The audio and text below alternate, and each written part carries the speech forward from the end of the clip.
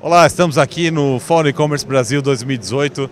Estou aqui com meu amigo Daniel Galvão, CW, vai explicar o que, que é CW. Vou deixar no mistério. Da aí. CRP Mango. Cara, Legal. muito bem-vindo. Obrigado pelo seu tempo aqui, pela entrevista. Legal, obrigado você pelo convite. É muito um prazer estar aqui com o pessoal do Digitalks. Pode começar explicando então CWO, qual que, é, qual que é o seu cargo? Bom, na verdade eu deixo para o pessoal marcar uma reunião comigo e explico pessoalmente para cada um. É uma Perfeito. surpresa, é, um, é, uma brincadeira bem legal que Perfeito. a gente faz lá internamente. Mas é, é justamente para entender que o gestor tem mais do que uma função hoje. E o W vem para explicar isso. Muito bom, muito bom. Legal. Eu acho que é uma coisa de, voltada à performance. Quase isso. Tá bom. É, cara, eu queria falar com você sobre Customer Experience. É, a gente está cada vez vendo mais é, colocar o consumidor no centro, né? Isso. A Viviane Vilela aqui do E-Commerce Brasil fala sempre que o e-commerce são feitos de pessoas, né? E, e quem está do outro lado, quem está comprando, são as pessoas. Então a gente tem que pensar nas pessoas, em navegação, na experiência dela. É, como que você enxerga, como está esse mercado, os e-commerces estão vendo o Customer Experience como um, uma, uma, um ponto principal e, e fundamental? É, tem muito ainda para se fazer. É, eu acho que existem momentos hoje no mercado de e-commerce. O primeiro ponto é que existem tamanhos de empresas e momentos de cada empresa. É, é claro que aquele e-commerce que começou agora, ele não tem muito como pensar na experiência do consumidor e ele acaba fazendo aquela coisa em volume e massa. Mas o que a gente percebe cada vez mais, as empresas vão crescendo, ela precisa dar uma atenção como se fosse um a um para esse consumidor. Porque não adianta nada ele querer trabalhar em massa no momento que a gente vive cada vez mais a individualização do, da pessoa, a individualização é, do indivíduo que olha muito para a experiência dele, para o momento dele. Às vezes são pessoas que moram na mesma casa e têm percepções e experiências totalmente diferentes. Então, às vezes, aquela mesma loja é, entrega uma experiência maravilhosa para uma pessoa e para a mesma pessoa que está na casa a experiência não é tão boa. Então, é muito importante entender, e a tecnologia vem muito é, para ajudar justamente isso. Eu posso navegar numa página que ela é totalmente limpa e fácil na minha navegação, porque eu não gosto de muita informação, e para o usuário seguinte, eu posso mostrar uma página cheia de informação, porque é aquilo que ela procura. É, a grande questão e o desafio das lojas hoje é dosar isso. Em que momento entrego mais informação, em que momento entrego menos. E quando eu digo da, da do Consumer Experience, eu não estou falando de encher a tela de pop-up, mas sim realmente customizar a loja para cada usuário. E isso tecnologia hoje tem de muito, né? Tá. Não, é, não é difícil fazer então, é só saber entender, entender a tecnologia ser usada como funciona na prática isso, né? Olha, Pô, eu tenho... Quero isso para minha loja, como funciona? É, eu tenho um, um, um grande mentor lá dentro da, da consultoria, da, da CRP Mango, que ele diz que é tudo uma questão de tempo ou dinheiro, tá? Dá para fazer. Agora, o desafio é esse. É tempo ou dinheiro. Se a gente conseguir aliar, aliar os dois, a gente consegue desenvolver. Ou trazer soluções de fora, né? A gente trouxe recentemente uma solução que é a BrainW, que é uma solução que ajuda nessa jornada, nessa navegação.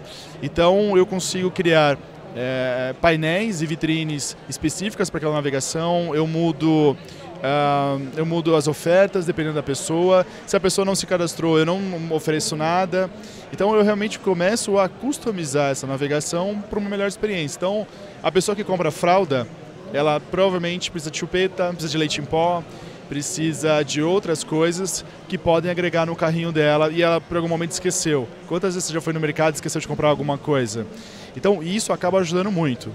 Existem outras soluções mais parrudas que inclusive estão integrando o Omnichannel. Então, ele com inteligência artificial, ele consegue identificar o perfil de consumo da pessoa, ele consegue identificar que a pessoa compra é, leite no mercado, loja física, só que naquela semana ela esqueceu de comprar. Como, principalmente em São Paulo, tem lá o, o, o CPF, ele consegue integrar junto com o e-commerce. Então, quando essa pessoa que está na loja física não comprou e na inteligência identificou que esse leite está fazendo falta na compra dele, ele pode mandar esse produto lá no e-commerce. Fantástico. Para ele não perder essa oportunidade. Então, cada vez mais a gente está olhando para o indivíduo. Então, cara, por que você não está comprando esse leite? O que está acontecendo? Eu tenho aqui, eu tenho produto, eu tenho oferta, eu tenho qualidade. O que está faltando? Né? Então, é muito dessa jornada do consumidor. Você melhora muito a experiência do, do, do cliente, né? Sim. Você, o cara não enxerga isso como você está tentando vender leite para ele. Não, ele está tentando te ajudar né? Um e-commerce está tentando me ajudar a, a, um item que eu esqueci essa semana. Sim, é, a experiência que eu sempre trago é eu tenho um filho pequeno. Você sabe, eu tenho um filho pequeno. E às vezes eu esqueço é, leite. Pô, foi no mercado, esqueci. Chega em casa não tem leite. Pô, e essa inteligência poderia ajudar. Falar assim, ó, você está acostumado a comprar 2 litros por dia. Hoje, ó, tem três dias que você não comprou leite nenhum aqui. Tá faltando na sua casa. Olha que fantástico. Fantástico. Tá me ajudando. Na verdade, ele deixa de vender. É. Ele tá me ajudando a resolver um problema. É. Realmente, né? realmente. Cara, continuando na tecnologia ainda, é... inteligência artificial, enfim, a gente ouve inteligência artificial já há alguns anos. E na prática, o que, que a gente está vendo é, funcionar a inteligência artificial são chatbots. É, eu acho que é uma demanda que estava é, reprimida. Tá muito, reprimida, né? É, o custo de atendimento é muito alto do, do, do, das empresas. Enfim, você tem que uma pessoa, um ser humano, só para ficar respondendo, é, o mestre respondendo o chat nas empresas. E os robôs estão conseguindo resolver essa, essa, o ser humano, substituir o ser humano de uma certa forma na comunicação com o consumidor? É, a gente tem, trouxe um talento do mercado que é o, Luiz Tardelli, que é o especialista hoje de chatbot. É, é até interessante que a gente participou de um evento do mercado financeiro. É, e participando do mercado financeiro, o que a gente percebeu que é o maior gap é, é custoso você ter uma operação para atender as pessoas, um, um ser humano, um né? ser humano, como os ser humanos, porque às vezes é um boleto que a pessoa quer a segunda via, às vezes é um problema muito simples que conseguiria resolver é, através de uma tecnologia, ou então além, é, você precisa captar, capacitar pessoas, porque elas, por muitas vezes, são a a vitrine da sua empresa. Então você imagina um banco tendo na sua percepção de valor um atendente não tão bom ou não tão qualificado. Então você enfrenta problemas hoje no mercado, hoje são problemas reais que o chatbot vem para resolver. Então, primeiro ponto, atendimento. Eu consigo reduzir em quase 60% o volume de pessoas através do chatbot. A gente tem um outro também comportamento muito é, é, que cresce cada vez mais, é que as pessoas não querem mais conversar com pessoas. É, o que eu mais tenho visto é as pessoas se preparam para ligar num call center.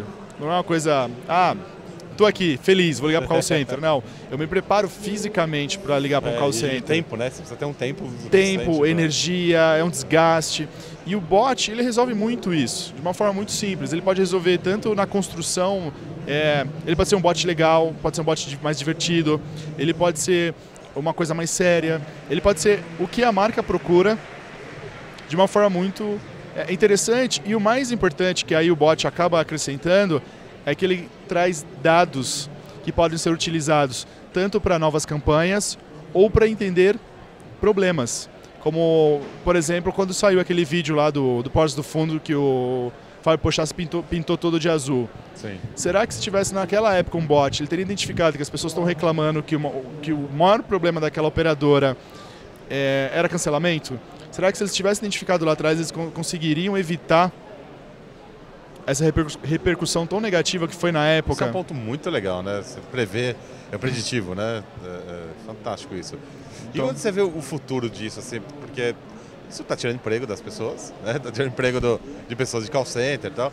É, o futuro, inclusive, da, da, de pessoas que trabalham nessa área. É, elas vão ter que estudar, mudar de área, vão ter que estudar ou não, ou vai continuar existindo o ser humano junto com o robô de caso a caso. Um pouco de bola de cristal agora, tá? é, Só, é, só, é. Eu, acredito, eu acredito que na verdade tem os dois lados. A gente pode ver o copo meio cheio ou o copo meio vazio. Eu tenho um filho pequeno e eu estou educando ele para essa nova geração, para essa nova fase que é o quê? É, se ele quiser trabalhar no call center, dif dificilmente ele vai conseguir trabalhar no call center que existe hoje. Ele pode não trabalhar no call center, ele vai trabalhar no call center numa situação muito especializada. Ou ele vai ser muito bom numa coisa que todo mundo vai precisar dele, e aí sim ele vai ser aquele atendimento. Mas o que eu sinto é que com a entrada dos bots, das novas tecnologias, existe uma necessidade muito básica de se reinventar, como foi na Revolução Industrial, como foi nas outras revoluções, que é, você tinha pessoas fazendo trabalhos manuais, braçais, e chegou a máquina. E aí? O emprego acabou, as pessoas se reinventaram e foram para trabalhos intelectuais. Sim. E dentro desse trabalho intelectual agora, o trabalho intelectual repetitivo, não criativo, não pensante, esse acabou. Está sendo substituído. Esse vai ser substituído. É, okay. Isso. Então, é, é, o que eu sempre falo para as pessoas que, inclusive, trabalham comigo é: faz sentido o que está fazendo? Você parou para pensar no que está fazendo? se você não está pensando no que você faz, você pode ser substituído por uma máquina. Entendeu? Então eu acho que é muito nisso, é entender que eu preciso ser mais intelectual, mais é, um ser pensante na minha, na minha execução de trabalho do que necessariamente só um executor. Eu acho que esse é o desafio para os próximos Maravilha. anos. Maravilha.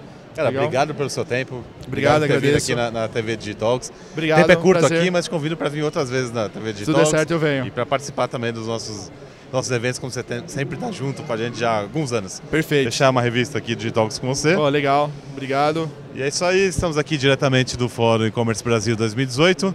Valeu, obrigado.